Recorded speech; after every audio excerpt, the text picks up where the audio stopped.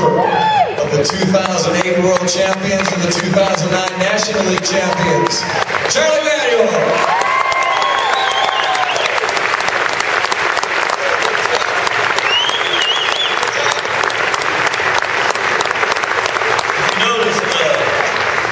uh, I was here, they let me talk. And I gave on. I, I thought I did well, really. But actually, last year I didn't get to come back because uh, when I left two years ago, they told me it's going to be a cold day in hell before I ever got back up here. Go ahead, Bob.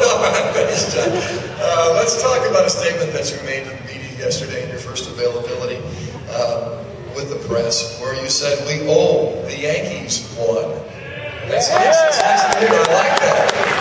Well, you know, uh, like when we got beat in the World Series, you know, like to get there, you know, that was good. But at the same time, believe me, we we were we were we were expecting to win the World Series. That's what we went there to do.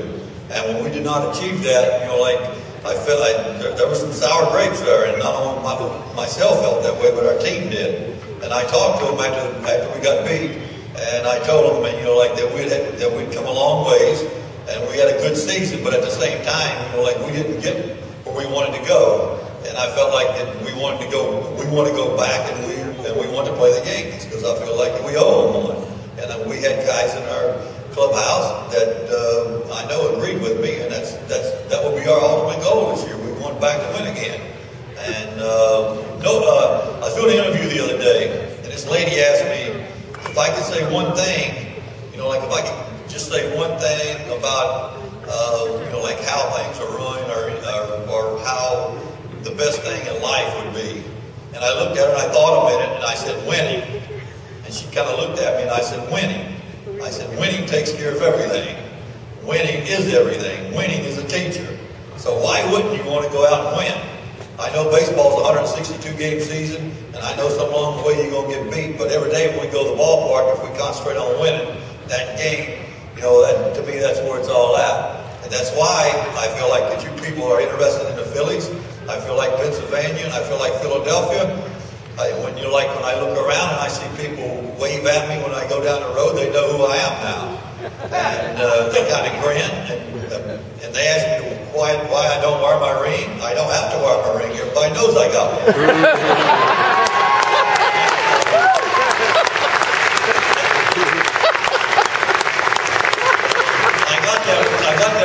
because of our team and our players. I'll tell you something, they, they, they the ones that made it possible for me to get that ring. And at the same time, what happened, we, we were winners. And when you win championships and when you win, when you win anything in life, you're a winner. So, Bob, that's kind of how I look at it. Let's talk about this year's club. Uh, as we talked about the fine tuning earlier, you like the makeup, you like the changes, Charlie? I love our changes. I think that uh, we got versatility from our uh, from our bench, especially. And uh, we had good players before, but we definitely upgraded. Um, uh, Brian Schneider here has been on our list for the last three years. And you're like, and we got him this year. And he's going to play a big role for us. He's a good player. I've seen him play a lot. And he's definitely going to help us. He's going to like our team. And uh, he's going to be, I look at him and Ruiz, and I think we've got the two best catchers in the National League. And,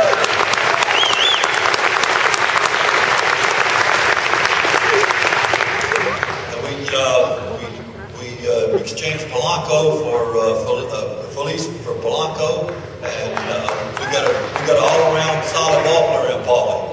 Paulie's got uh, what he's got uh, close. Either he's got 600 or whatever uh, hits in three years, and he's a tremendous contact hitter, and he puts uh, the ball in play. And by the way, Ricky, I'm, I'm planning on hitting second. but anyway, and then we got, of course, we got Halladay. But also we added two uh, two guys out of our bullpen and that I felt like going to help us. Danny Baez pitched for me when I was in Cleveland, and uh, he should help us, especially if he's healthy. I think uh, Contreras, a guy that uh, came to big leagues with the Yankees, pitched later on with the White Sox. He's definitely both of these guys are really uh, strong, hard-working guys. They'll pitch whenever you count the ball, and, and that's that's good to know. We need J.C. Romero to come back out, and uh, you know like most of all, you know, like I hear people talk about Cole Hamels, and they say we need for Hamels to bounce back.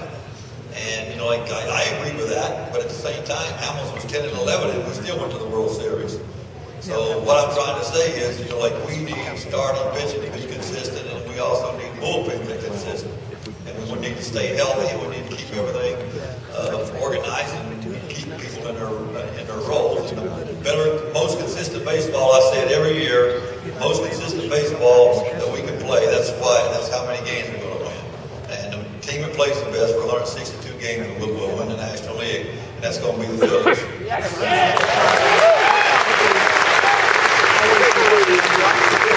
Charlie, this is a tough question. What would you rather do? Face down an angry pit bull in an, in an alley late at night, or tell Chase Utley he has to sit out a game and rest? First of all, I'm scared of dogs. I think we only did one. once. I mean, I'm scared of Chase either, but uh, that's tough. I you, uh, I'd like to talk to the bulldog because he can't talk back. but at the same time, you know, I'll tell you something. I think, hey, oh, that's a tough question. I would talk to Utley, but he'd be on the other side of the door. now, now, in all seriousness, you have some options now where you're going to be able to sit Chase down. And of course, I think he, well, talking about what he said, he understands. Well, you know, like first of all, I, I, I don't want to miss people because, like, we've got an infielder, Castro. I feel like he, he's a tremendous defensive player, and he's a contact hitter. He can play the game, and also we've got Gload uh, kid that plays first base and uh, left and right field, and we've got Dobbs back, and you know, like, and we, and we got guys that I feel like that we can put in the game and play, and, we, and we're not missing very much from a, from our starting lineup. Uh, you know, like, and I think that that'll help us as we go along this year. Maybe I maybe I can rest up the five, ten games, or maybe I can rest Rollins or Howard. If you sit down and you and you uh, look at the lineup and you uh, and you can maneuver guys because on off days, where if you rest them one day, they can get two days off. And I mean, if we organize things right and we play and we play baseball like I want us to, well then you know, like I uh, I should be able to rest more people this year. But at, at the same time, you know, like people, I hear people say all the time, well, how come you don't rest this guy? How come you don't do this? you know, and I also hear them say, oh, he's going to play, uh, we want him for sep- uh, for October. Or we don't, you know, like, we want him for the playoffs. What happens if we don't get to the damn playoffs? uh, the thing about that, I, like when I hear somebody say that, I hear everybody say that. I hear my boss say that. Uh, what happens if we don't get to the damn playoffs? I want to play the best team Every day, but at the same time, you know, I also realize that our guys that sit on the bench, they need to play too, and they are good players, or they wouldn't be sitting there. So, you know, I can, and uh, if we play the game like I think we would, I should be able to give some guys a rest. Hey, Charlie, you know, uh, there's a lot of. Uh, oh, yeah. I, at all those answers. There's a lot of men out here who envy you because you're a major league manager and they love baseball. But there's a lot of men lately who envy you because you're now Amarillo Slim. You want to give us some tips about how you took that weight off and how you kept it off? And ladies too, by the way, I hear from that. Uh, Gigi, Gigi made the right statement tonight when he came in. He was talking to me, and he looked at me and he says, uh, "He said it's good to lose that weight." And then Chuck said, "You get new clothes." I said, "Yeah, especially when they're free." now, really, uh, you know, I, I went to uh, last year when I went to spring training. Right, right before I went to spring training, I went to have a physical, and I got on the scales and I weighed 286 pounds. And when I was a player, I played at uh, when I was 20 years old or 21 until I was 35 years old. I was telling Scott and uh, Chuck today that I weighed 201 to 204. And sometimes if I felt like I was gaining weight, I'd get on the scales, I'd weigh 204. But, you know, but usually I just fall right back to 201. I never, I could never gain weight. Nobody in the world likes to eat better than I do, believe me. I love to eat, and there's always food around the ballpark. You guys know that. But anyway, like when I got on the scales and I weighed 286, I looked at myself, I thought, man, it's time for me to lose weight. And then I started seeing these pictures where my stomach was just dwarfed over my belt. And you know the old saying when they say, hey, you got TB, uh, TB, and TB stands for two bellies. Well, I had two bellies. and I finally realized it, and I thought to myself, my knees were killing me. And like I had all kind of problems. I thought I'm going on a diet, I'm going to lose weight. Well, I go to the ballpark every morning at 5.30, 6 o'clock, and I see Don Shula and I see Marino on TV doing these Nutrisystem ads. and I thought to myself, I'm going to try that. And actually, you know, I got, you know, I got involved with it. And I got involved with the fact that I wanted to lose some weight. I wanted to get in better shape and I wanted to feel better. And I, and I got on it and I uh, stayed with it. And, uh, you know, and actually it wasn't hard. And it was, and the weight came off pretty, pretty quick. Looks pretty good, and I, I gotta tell you, don't you look great? I know he's got self-control because they put a piece of chocolate cake in front of me, and he said no. Brian said no.